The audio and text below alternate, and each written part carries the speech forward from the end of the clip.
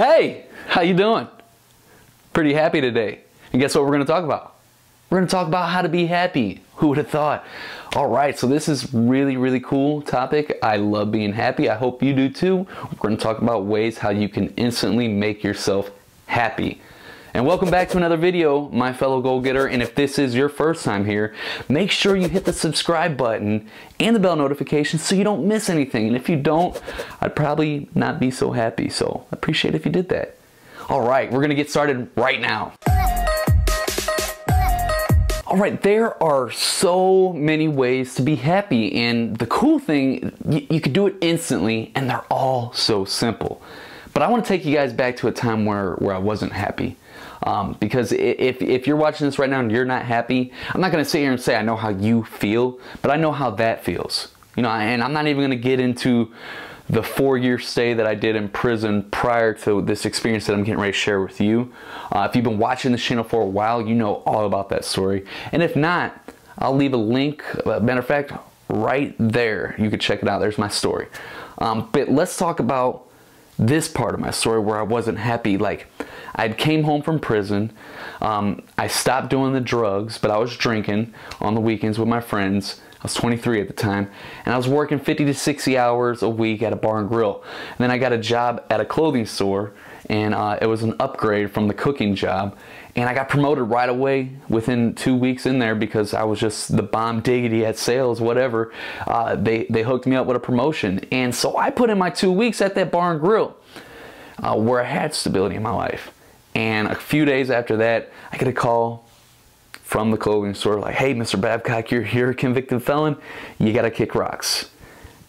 And that sucked, you know, and I should have, you know, totally responded to that differently. But at the time, it, it was a low blow. I felt like I was never going to be able to advance in life and have happiness and success that no matter what I did, my past was always going to come back and haunt me. These are the types of, feel, of the thoughts that were going through my head and, and what I was feeling. And it led me to a, a very depressed time. You know, I started drinking heavily. I became an alcoholic. I'm talking about as soon as I woke up in the day, uh, 10, when I finally woke up at like 10 in the morning, started drinking all the way throughout the night to 2, 3, and 4 in the morning and this went on for months. And eventually, I, it led me back to getting a DWI while I was on parole, which caused me to violate my parole and get locked back up and head back to prison for eight months. And that was 20 days before my twin sons were born. So that was even a lower blow.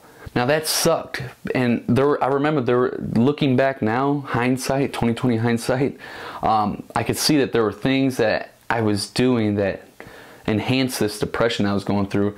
And there was a lot of things that I could have done, simple little thing, little tweaks that could have made a world of a difference. And we're going to talk about them right now. The first thing we can do to instantly change our mood and to be happy is by changing our physiology. Simple as that. Just by the way we breathe, by the way we hold our body posture, and by the way the facial expressions we make, makes the world of the difference. Like if you're slouching in your chair right now and if you sit up straight, you immediately feel the different the, the, the, different emotional state that's involved with that. You feel the, the bursts of energy. If you start, if you're walking around for a frown on your face, but you just turn it into a smile, as soon as you start smiling, that makes you feel happy. it just does. And, and, the same with breathing, you know, if you're just breathing, you know, you know, like that, that's, yeah, that's going to cause you to feel tired, depressed, whatever, all that stuff. But if you're like,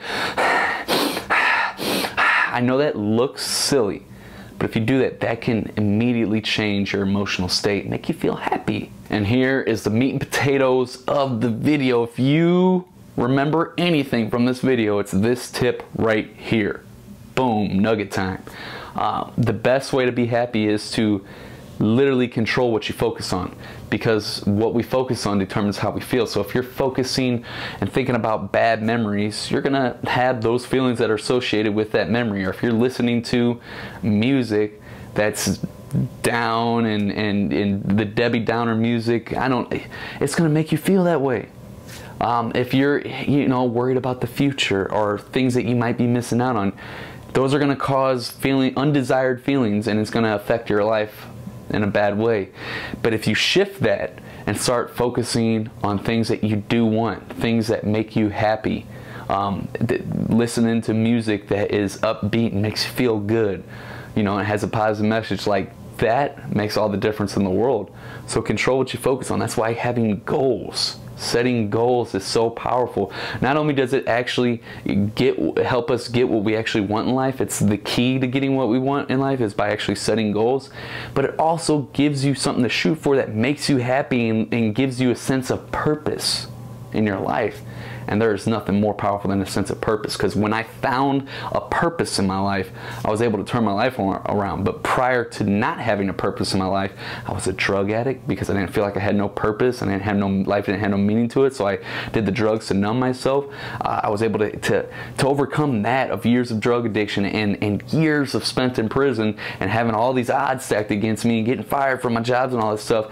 And when I found that purpose, I was able to turn it all around you know, so it's powerful. So have those goals, control what you focus on. So as we head on out of here, if this is your first time here or if, if you haven't downloaded my free goal getter cheat sheet yet, I highly recommend you to do so right now. This is a goal process that I've developed over the last few years on how I turned my life around from being a drug addict and spending all that years in prison to becoming a responsible father and a successful entrepreneur.